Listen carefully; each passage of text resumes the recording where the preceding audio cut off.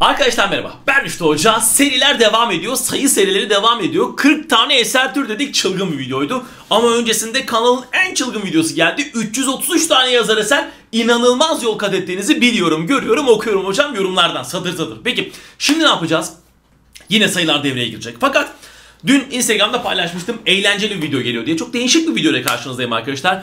100 kavramla edebiyat diyeceğiz. Bu ne hocam Allah aşkına? 100 kavramla edebiyat. Bir diyeceğim, bir kavram söyleyeceğim. Bunun size hatırlattığı şey isteyeceğim. Fakat ucu açık olmayacak tabii ki. Hocam bu bende şunu hatırlatıyor falan demeyeceğiz. Direkt olarak bu budur, şu şudur. Bazen bir eser verip yazarını soracağım. Bazen bir özellik verip yazarının kim olduğunu isteyeceğim. Bazen yine bir özellik verip hangi edebi akım olduğunu soracağım. Yine bazen bir küçük bir özellik verip küçük bir anahtar kelime verip hangi nazım biçimi olduğunu soracağım. Nazım türü olduğunu soracağım. Metin türlerinden sorular var. Sözlü anlatım türlerini dahi dahil ettim. Eksiksiz tüm konuları baştan sona tekrar edeceğimiz çılgın videomuz gelsin hocam o zaman gelsin. 100 kavramla edebiyatta. İlk kavramlar yavaş yavaş ekrana bir gelsin hocam. İlk 14-15 kavramı bir görelim bakalım. 14'te 14 gelir mi buradan? 14'te 12, 10-12 civarı bekliyorum bu sayfada. Sayfa sayfa gidelim hocam. Tam 100 kavram var. Yüzde de böyle bir hani bir 50'yi geç artık o kadar değil canım. 50, 55, 60 saygı duyulacak bir aralıktır. Mesela 5N 1K K değil aman dikkat Türkçe'de K yok. Buna 5N 1K dersen yarın bir gün TDK da deme ihtimalin yüksek. O yüzden alıştır kendini K'ye lütfen. 5N 1K ifadesi hangi yazı türünü hatırlatacak bize? Hangi metin türünü hatırlatacak? Tabii ki haydi geldi cevap. Haber yazısı arkadaşlar. Haber yazısında var sadece 5N1 iken ne zaman nerede ne niçin falan fistan diyor sonra kim sorusunu soruyoruz. Değil mi? Haber yazılarında bu 5N1K yöntemi var. Ben birde bir olacağını düşünüyorum ama biraz zor. Metin türü çünkü aklınıza çok gelmiyor değil mi? Çok beklemiyoruz metin türünden sonra gelmesini. Gelirse ters köşe olabilir. Dikkat! Rindane, şuhane, hakimane, aşikane gibi türleri olan nazım biçimini istiyoruz. Daha rindaneyi görür görmez o nazım biçimi akla gelmeli. Nazım biçimimiz tabii ki gazel arkadaşlar. Sadece gazelin türleridir. Aman dikkat saygı duyuyorum. Şu yuvarlak için aldıklarım tehlikeli olanlar olsun ait. Üçüncü dizesine miyan ya da miyanhane denilen nazım biçimini istiyoruz. Divan edebiyatında gerçekten sağlam, güzel bir detay çok lazım olacak diye düşünüyorum. Nazım biçimimiz gelsin hocam. Tabii ki şarkı nasıl gidiyoruz? Sağlam başladık mi? Bence çok güzel bir uygulama. Çünkü böyle anahtar kelimelerle zaten soruları çözüyoruz. Koskoca bir metin veriyor adam sana. Kimse o cümleleri satır satır anlamıyor tabii ki. Böyle arada derede kaptığınız bir şey oluyor. Çat diye hemen cevaba gidiyorsunuz. İşte onlar burada hocam. Üçüncü dizesi. Miyan ya da miyanhane olarak anılan tek nazım biçimi şarkıdır. Yani kafalar yanmaz. Azmizade Haleti ve Ömer Hayyam dendiği zaman aklımıza ne gelir arkadaşlar? Onlarca şey ama nazım biçimi desek Azmizade Haleti Türk Edebiyatı'nda, Ömer Ayamsa İran Edebiyatı'nda neleriyle tanınıyor? Tabii ki rubaileriyle tanınıyor aman dikkat. Bunu özellikle sordum çünkü bizde rubai dendim Ömer Ayam akla geliyor. Ömer Ayam Türk Edebiyatı'nın bir şair yazarı değil arkadaşlar. Dikkat Azmizade Haleti var bizde cebinizde kalsın. Ben bunu yapabileceğinizi düşünüyorum tik attım buna. Nesip, teşbip gibi bölümler hangi nazım biçiminin bölümleri arkadaşlar? Nesip dendiği zaman, teşbip dendiği zaman hangi nazım biçimi zihinlerde uyanır? Haydi gelsin cevabımız tabii ki kaside değil mi? Kasidenin bölümleri. Nesip hatırlayacaksınız. Nesip teşbip diye de biliniyor. Aynı bölüm aslında. Giriş kısmıdır aslında. Burada tasvirler vardır. Bazen ıydiyedir değil mi? Bazen şitaiyedir. Ya bazen bayramı tanıtır bayramiye olur. Baharı tanıtır bahariye olur. Neyi tasvir ediyorsa onun adını alıyor aslında. Kavuştak. Kavuştak nerede var arkadaşlar? Hangi nazım biçiminde? Tabii ki türküde. Şöyle bir nazım biçimi başlayışı yapmışız. Kavuştağı da bence bilirsiniz. Sünnet düğünlerinin anlatıldığı nazım biçimi mi nazım türü mü hocam? Tabii ki nazım türü değil mi? Surname. Sünnet düğünlerinin anlatıldığı nazım türü surnamedir. Nabi'nin surnamesi var çok çok önemli. Tek ses benzerliğine ne diyoruz? Tek ses benziyorsa buna ne ad veriyoruz arkadaşlar? Tabii ki yarım uyak demiştim ya. Bütün edebiyat var arkadaşlar. Siz tabii direkt yazar eser tarzı bir şey beklediniz. Burada her şey var arkadaşlar. Bakın haber yazısıyla falan başladık. Metin türlerine başladık. Satır satır gidiyoruz. Şu an şiir bilgisindeyiz. Belli ki ondan sonra böyle ufak ufak bir halk, divan falan gibi geçişler yapacağız. Bence bunu da bildiniz. Bir çobanın ölümü üzerine söylenen pastoral şiir türü. Bakın. Bir çobanın ölümü üzerine söylenen şiir türü demedim. Çünkü pastoral deme ihtimaliniz çok yüksekti ona. Pastoral şiirin 3 tane türü var arkadaşlar. İdil, eglok ve eleji. İdil dediğimiz şey çobanların arkadaşlar kır yaşamını çobanların ağzından anlatma aslında ama yani çoban kendi hayatını falan anlatıyor orada İdil'de biliyorsunuz. Yaşadığı durumları anlatıyor. Eglok'ta çobanların karşılıklı durumlar, karşılıklı konuşmaları anlatılır. Eglok kelimesi diyalogla aklınıza kalsın lütfen. Karşılıklı konuşma çobanların yalnız. Çok çok önemli bu. Bir pastoral şiir türü çünkü orada çoban olacak koyun kuzu bir şey olması lazım. Eleji ise eleji eleji bir çobanın ölümü üzerine duyulan üzüntünün dile getirildiği şiirler arkadaşlar. Aman dikkat. Bence sağlam. 3'te 3 var burada. 1, 3 ve 9. Bunları yapma ihtimalimiz düşüktü. Yani bir anda hatırlamayabiliriz çok normal. Sadece benzetilen varsa desem ne hatırlarsınız? Bir istihare türü akla gelmedi arkadaşlar. Edebi sanatlardayız şu an. İstihare ama hangi istihare? Açık mı kapalı mı? Sadece benzetilen varsa buna açık istihare diyoruz arkadaşlar. Ben bunu bilmeniz gerektiğini düşündüm. O yüzden tik attım buna. Bilme şu dakika itibariyle en unutmamalısınız. Derece derece aktarma durumu hadi bakalım. Bunu hatırlamayabilirsiniz edebi sanatlarda. Biraz daha detaydır.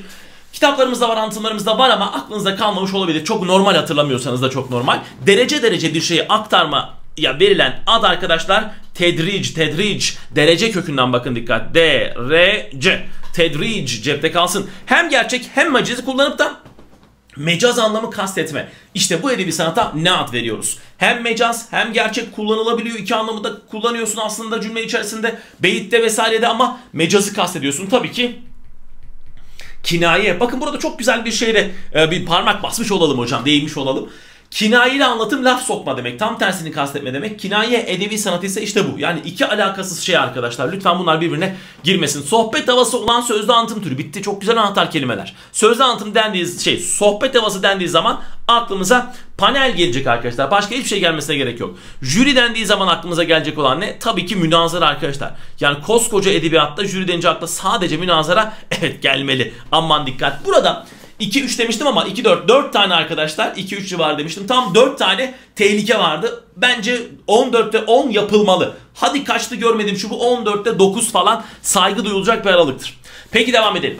Akademik, bilimsel sözlü anlatım türü. Akademiklik varsa, ciddiyet varsa, böyle nesnelliği falan hissediyorsan artık yapıştırmalısın. O anlatım türünün sempozyum olduğunu arkadaşlar dikkat bu inanılmaz bir beyin fırtınası arkadaşlar. Şu an yaptığımız inanılmaz bir şey. Gerçekten bir kavramı söyleyip pat diye destanı ya bu destan tabii falan diye. Ya da nesip tamam kaside demeniz inanılmaz bir seviyedir arkadaşlar. Çok iyi bir durumda olduğunuzu gösterir bu. İçiniz rahat olsun. Çok dökülmezsek tabii ama döküleceğinizi düşünmüyorum. O kadar da değil. Çünkü gereksiz hiçbir bilgi yok. Hepsi lazım olan bilgiler. Ve hepsine emin olun biliyorsunuz. Demirden daha eritme motifi arkadaşlar hangi destanda vardı hatırlayacaksınız. Ergenekon. Bunu da bence yapabilirsiniz. Işık ağaç motifli destan. Yani ışık geliyor böyle ağacın ortasına böyle drop giriyor falan. Ağaç bir 9-10 ay sonra çocuklar doğuyor. Ağaç böyle yarılıyor falan. O hikaye anlatıyor. Neydi hocam? Tabii ki Göç destanında aman dikkat. Döşeme, metin, bitiş bölümleri olan tür. Döşeme deyince aklınıza başka bir tür geliyor olabilir. Onu da sordum. Birazdan onu da göreceğiz. Onunla karışmasın. Metin kısım var bir de bunda. Onda yok. O aklınıza gelen de yok. Döşeme, metin ve bitiş olan tür arkadaşlar. Ok şöyle gelsin. Halk, hikayesi arkadaşlar lütfen cebinizde kalsın halk hikayesi. Dibace, tevhid yani buna belki yuvarlak koyabiliriz 18'e ya bu arada. Yani belki metin bitiş hatırlamıyor olabilirsin çok normal.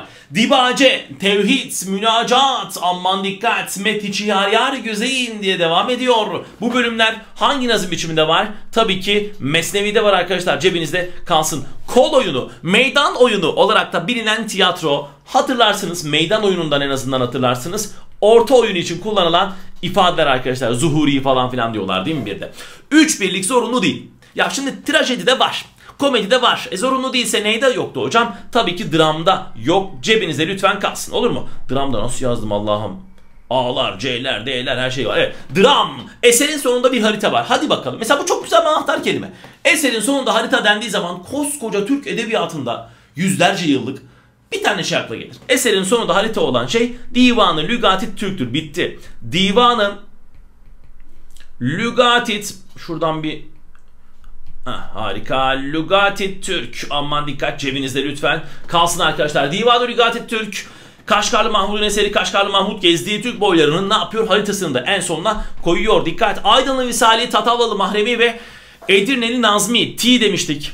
Değil mi? T. Çaydan hatırlayacaktık. Aman dikkat. Türkiye basit akımı arkadaşlar. Türkiye basit akımının temsilcileriydi. Cebinizde lütfen kalsın. Cepte bu da. Divanı olan ilk şair. Evet evet divan edebiyatında ilk divanı olan şairimiz Tabii ki Ahmedi. Yani ben size İskendername desem değil mi? Aman dikkat bu tehlikeli olabilir.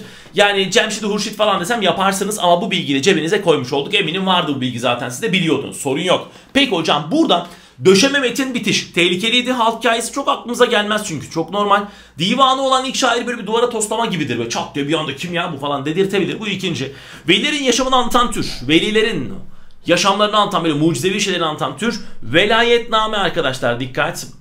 Velayetname uyuma fıkra hici bunu bilen çıkarsa anılar öpmek lazım. Kitabımızda var anlatımlarımızda var ama detaydır çok çok sağlam bir bilgidir fıkranın, hicvin, mizahın bir arada olduğu türler arkadaşlar letaif name deniyor. Aman dikkat. Letaif name çok güzel bir bilgi. Uzun eceyi kısa okutan aruz kusuru. Uzunun z'sinden hatırlayın demiştik. Böyle bir taktiğimiz vardı. Tabii ki zihaf, zihaf aman dikkat. Ünlü tekrarı, ünsüz tekrarı. Ünlü tekrarı yapılıyor ise buna asonans deniyor. Ünsüz tekrar yapılıyorsa aliterasyon deniyor. Bence burası da çok iyiydi. Burada da bir 3 tane falan var. Hadi bir tane de sağdan soldan gitsin 4. 4 4 8 hocam. Yani 28'de 20'yi görmüş olmalıyız. Çok kötü durum bak 28'de çok kötü durum 10 falan. Yani 10-15 arası yaptıysak kötü hatırlamıyoruz. Çünkü şu an bayağı 28. maddedeyiz ama 2-3 tane dönem bitti. İslamiyet öncesi konuşuldu burada. Divan Edebiyatı'nın en azından şeyi konuşuldu. İslamiyet öncesi destanlarla konuşuldu bu arada. İşte Divan Edebiyatı burada akımlarla Aydın ile geldi, divanıyla geldi, ne bileyim nazım türleriyle geldi. Yani halk edebiyatına belki birazdan geçeceğiz gibi gibi gibi. Giriş kısmı zaten şiir bilgisi, edebi sanatlar, edebiyata giriş kısmıydı. O yüzden bayağı bir 4-5 konu burada geçildi. Aman dikkat. Düz yazıda uyak dendiği zaman aklımıza seci gelecek eyvallah. Taşlama, dokundurma, edebi sanatlardan yürüyoruz belli ki. Tarih diyeceğiz eyvallah. İlk örneği Mecalisün Nefais olan metin türü. Hadi bakalım. Hadi bakalım buna ne diyeceksiniz? İlk örneği Mecalisün Nefais yani nefislerin meclisi olan metin türü biyografi arkadaşlar. Biyografi aman dikkat. Yani tezkire. Eski adıyla divan edebiyatındaki adıyla tezkirenin ilk örneğidir aman dikkat Alişir Nevai'nindir. Bunu da biliyorsunuz diye düşünüyorum. O 29-31 bence sıkıntılı değildi çok. Döşeme bölümünde tekerleme olan tür. Hah bu az önce söylediğim şey. Döşeme deyince aklımıza masal gelmeli arkadaşlar. Ama döşeme metin bitiş diyorsa halk hikayesini hatırlayacağız. Ama tekerlemeler falan masalı hatırlatırdı. İskender'le mücadeleyi konu edinen destan. Bunu hatırlamayabilirsiniz arkadaşlar. Aman dikkat. Şu destanı, kahramanımız Şu'nun mücadelesi. Dünyanın en uzun destanı bunu biliyorsunuz. Bunu biliyorsunuz. Kesinlikle hatırlayacaksınız. Manas destanı. Mendil, baston, sandalye. Hem güldürme hem düşündürme durumu. Nerede var hocam? Tabii ki meddahlık geleneğinde var. Meddah diyebiliriz. Hikemi şiir. Hikemi şiirin temsilcisi arkadaşlar. Aman dikkat. Hikemi şiirin temsilcisi. Kendince bir ekolü olan yani kendince derken bayağı kendi adını taşıyan Nabi ekolü diye bir şey var. Nabi'ye saygı duyuyoruz. İlahi aşkı en çok işleyen şair arkadaşlar. Tabii ki tartışmasız çok net açık ara önde Fuzuli. Divan şiirinin son büyük temsilcisi aman dikkat Şeyh Galip bir daldın gidiyorsun hocam. Bak 38'e geldik daha Bismillah kısmındayız dur. Darri mahlası oba. Ben burada susarım hocam.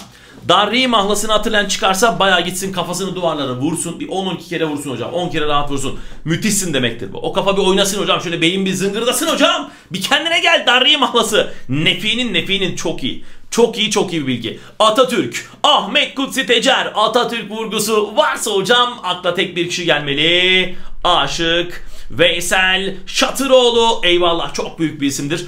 Eyvallah buna saygı duyduk. Coşumculuk anlamına gelen hocam coşumculuk coşkunun ön planda olduğu romantizm akımını hatırlatacak. Felsefeci şiir sizce hangi edebi akımda kullanılıyor?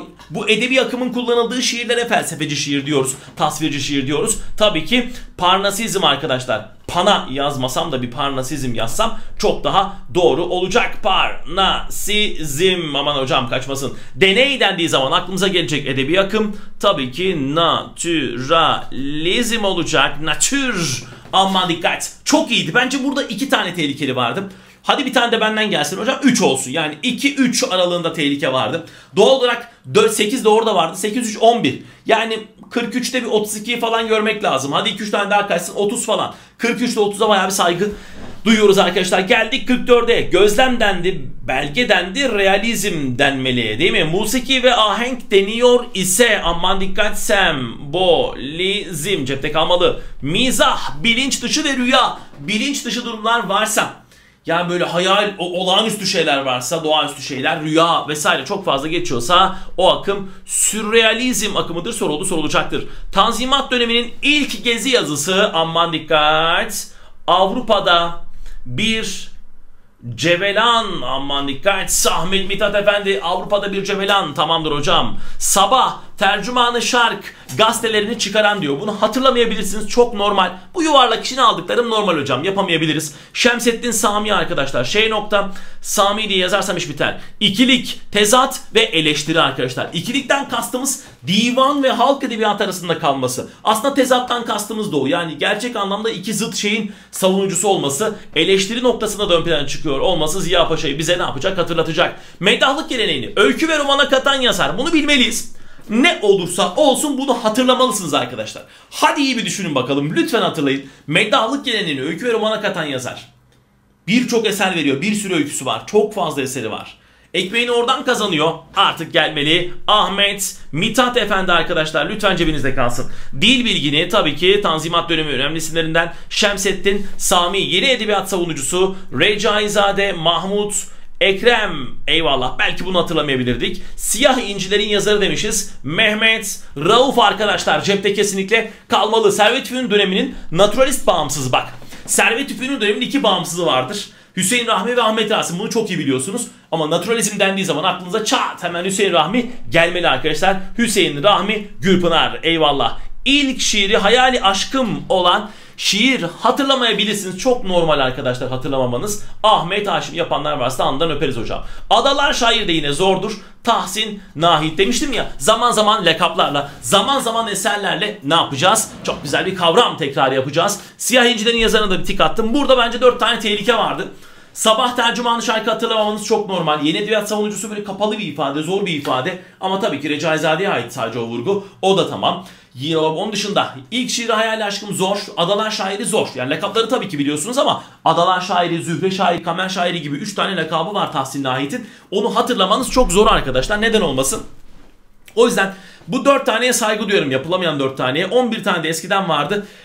Etti sana 15 dedim ya 55, 60, 65 civarları sanki böyle ortalama yapılması gereken aralık gibi bu 100 kavramda Evet 57. maddedeyiz. 7 bölümden oluşan bir şiir kitabı olan şair demiş tabii ki Mehmet Akif Ersoy hangi eseri söylüyor hocam? Safahatı söylüyor değil mi? Safahat, safalar, bölümler değil mi? Cepte kalsın. Sadece ok şiirinde heceyi kullanan sanatçı diyor tabii ki Yahya Kemal Beyat'ta olacak biliyorsunuz. Hece ölçüsünü kullanmayacak, aruzu kullanacak. Sadece okta heceyi tercih edecek. Yağmur adını at önemli çok çok zordur. Nurullah Genç arkadaşlar hatırlayan namdan öpmek lazım. Eşyanın şairi gerçekten zordur. Sedat Umran dikkat Sedat Umran biraz daha tableti şöyle çekelim hocam eyvallah. Cemalettin Seber takma adı sağlamdır Cemal'den aklınızda kalsın Cemal Süreya dikkat hece ölçüsüne köylü vezni diyen şair demiş. Haydi ekran gelsin hocam. Hece ölçüsüne biliyorsunuz köylü vezni diyen var. Parmak hesabı diyen var. Parmak hesabı diyen Cenab Şahabettin. E, köylü vezin diyen şairimiz ise Ahmet Haşim olacak. Cebinizde lütfen kala. Halk için roman anlayışından etkilenen bağımsız isim arkadaşlar Hüseyin Rahmi Gürpınar. Halk için roman anlayışını yazabilirsem. Ha Hüseyin Rahmi evet. Halk için roman anlayışını ortaya atan kişi Ahmet Mithat'tır. Bundan etkilenen bağımsız isimse Hüseyin Rahmi Gürpınar'dır. Hürriyet kavramını ilk kez kullanan Namık Kemal cepte kalsın. Harf ötesinde hiçbir şey yoktur diyen akım, harfçilik anlamına da gelen letrizm cepte dursun. Sevgi ve hoşgörü çağrısı, sevgi ve hoşgörü deyince tabii ki Yunus Emre de akla gelecek ama çağrı dendiği an ne olursan ol gel diyen Mevlana akla gelsin. İlk yarı resmi gazete Ceride-i dikkat havadis olarak aklınızda kalsın. Hun hükümdarı Metin'in hayatını anlatan destan hangisidir? Oğuz Kağan. Cepte kalsın Oğuz Kağan destanı. Uygunluk olarak da bildiğimiz edebi sanat, tenasüp, müsait, münasip gibi kelimelerle hatırlayacağız demiştik. Özel iş, edebi, resmi, açık gibi türleri olan türümüzse tabii ki mektup olacak. Şimdi hocam gelsin hadi 71 bakalım neler. Ahval mukaddimesinin yazarı tabii ki Şinasi olacak. Uyuba Lale Devri şairi diyor. Nedim eyvallah hocam. Cönk'ün yer aldığı dönem halk edebiyatı diyebilirsiniz. Yanlış değil ama illa nokta atış yapacaksak aşık tarzı halk edebiyatı arkadaşlar çok çok önemli değil. Yani halk edebiyatı diyenler de doğru yaptılar. Tamamdır. Çünkü yani direkt halk edebiyatı bölümü falan demedim. Dersem çok sırıtır diye söylemedim. Bolu Bey'ine selam söyleyen koçaklama ustası diyor. Evet benden selam olsun Bolu Bey'ine diyen isim arkadaşlar aman dikkat Köroğlu olacak. Cebinize lütfen kalsın. Dinamizmin olduğu akım diyor. Yani bu biraz ters köşe oluyor. Hareketlilik, dinamizm, canlılık var. Tabii ki fütürizm olacak arkadaşlar. Fütur, gelecekçilik, fütürizm. Hacı Evvel lakabı.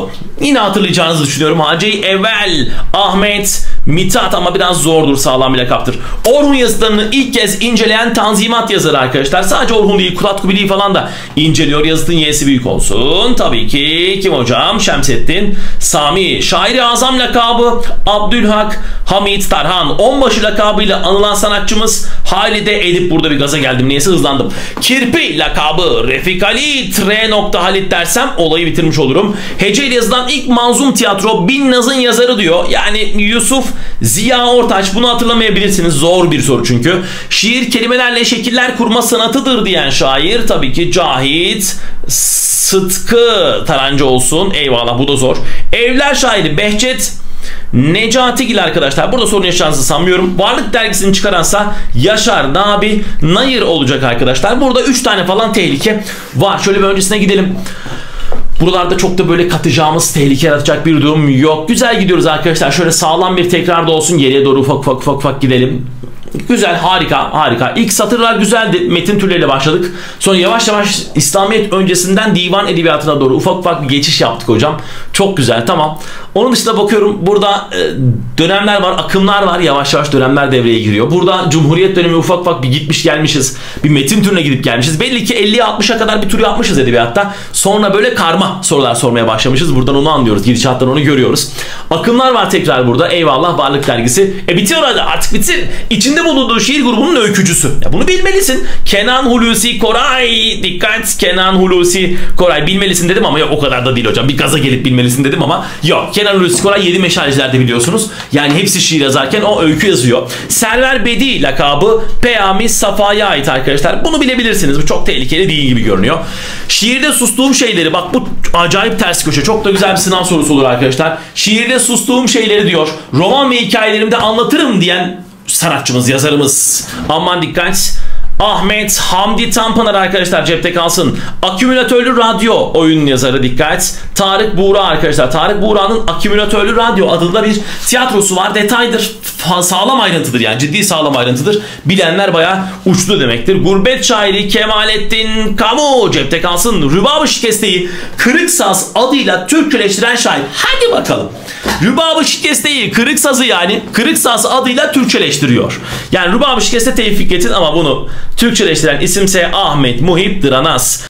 Evet Haydi 91 Haydi 91 ne diyor? Dünya kaçtı gözüme önemli eseridir diyor. Dünya kaçtı gözüme derken hocam hangi eser bu Allah aşkına? Önemli şiir kitaplarından. Kimin hocam? Özdemir Asaf değil mi? Ö nokta Asaf Özdemir Asaf'ın Deli Ozan Çam deviren gibi lakapları vardı diyor. Bu lakabın sahibi tabii ki Faruk Nafız yazabilirsem Çamlıbel olacak. Beş hececilerin lideri önderi hocam o dönemin en önemli isimlerinden Çoban Çeşmesi'yle de karşımıza gelen isim. Metafizik esintileri getirdi diyor. Edebiyatımıza metafizik esintileri getiren bunu makber şiiriyle yapılan yapan kişi Abdülhak Hamit Tarhan olacak. Aman dikkat. La Fontaine'den çevirileri var diyoruz. Evet La Fontaine'den çeviri deyince aklımıza her şey gelir ama sanki Şinasi çok gelmez gibi değil mi? Tanzimat döneminde Şinasi'nin La Fontaine'den çeviriler yapması çok çok orijinal. Kuralcılık anlamına gelen edebi akım. Tabii ki klasisizm aman hocam. Ferman Padişah'ın Dağlar Bizimdir sözünü söyleyen kişi